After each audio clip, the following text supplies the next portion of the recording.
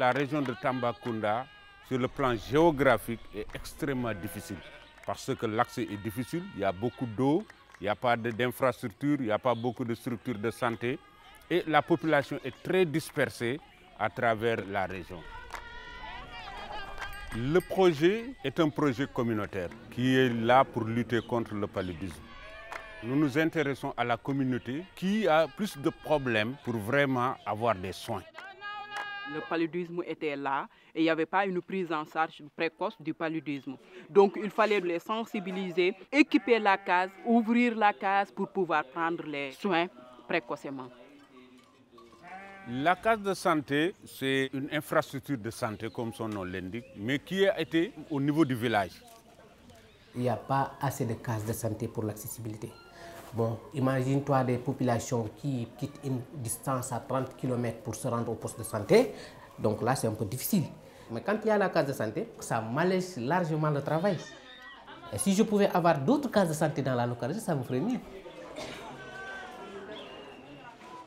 Nous, nous avons des ADC. C'est que l'ADC est entre le projet, la communauté et le district. C'est des gens qui connaissent bien le terrain, qui sont présents tous les jours et qui rectifient quand il y a problème aussitôt, avant que ça ne prenne de l'ampleur.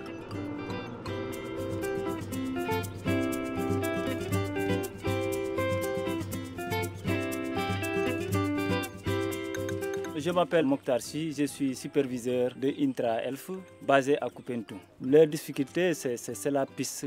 C'est une zone vraiment accidentée, difficile, surtout durant l'hivernage. C'est difficile d'accès à Ngabito.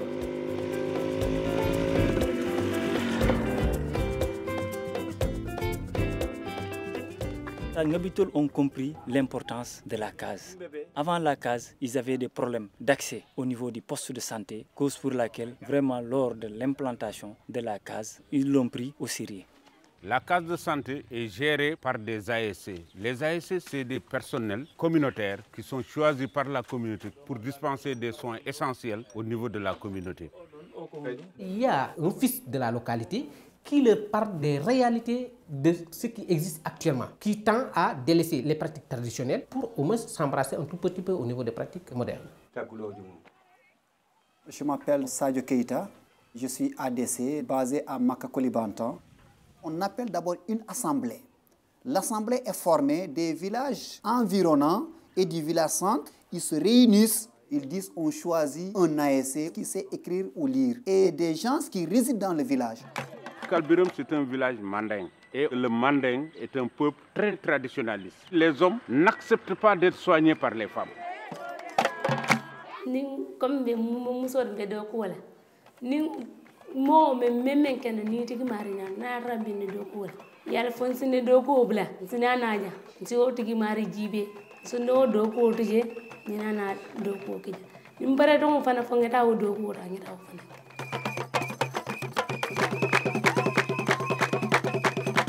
Ñimmel ɓe kase kase la ñinu ima ñinan nat yaalon nenten muy le jalol le ti ima ñinan na fana. Kaatu ñaamoy naa ŋetulu atare ɓe kende yarni wo kende a kono la di yen nafa wolal teɓe ɓara men eme ñinala iɓa noori na fanfan kende kende INTRA a apporté beaucoup de choses avec nous. Un appui technique très important, mais un appui aussi au niveau de la communication pour le changement de comportement. Je m'appelle Aline Badre Diop et je suis basé à Missira. On est des partenaires. On travaille en collaboration. Tout ce qu'on fait, on le planifie avec le district. Les cases et un financement. Ici, ils ont préféré faire l'élevage. Après, ils vont revendre ça au niveau du marché local pour source de revenus. Ça va bénéficier pour éviter les ruptures de médicaments, tout ça. Je suis sûr que après le projet, le travail va continuer.